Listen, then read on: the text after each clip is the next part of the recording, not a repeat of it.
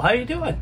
Welcome. I'm the Autistic Modeler. Today, I'm getting a little progress done on my USAC Dodge Dart group build.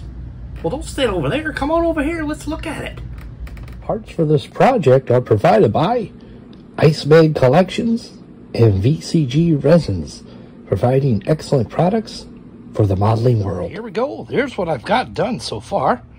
It looks pretty sharp, nice and low in the front. The wheels are from Iceman Collections. They look really good on there. I got wider ones in the rear and a little narrow in the front. Tires are from the round two Redline tire set. And then I got a bench seat I added from a Johan police car. And you should see that offset hood scoop looks a little menacing, doesn't it? Ooh. We got a Racing Slant 6 provided from RCG Resins. Josh over there sent that over. It's a really cool engine. I'll show all the pieces of it towards the end.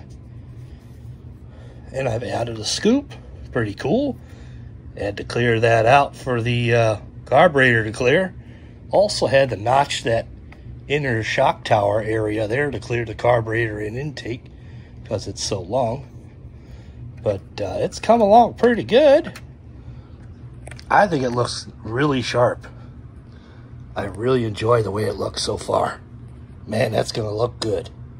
I'm digging it. It's come along really good. That engine fit in there really nicely. Nice and low there. I got some little hubcaps from a Dodge vehicle I'm going to put on there. So well, just a little quick update.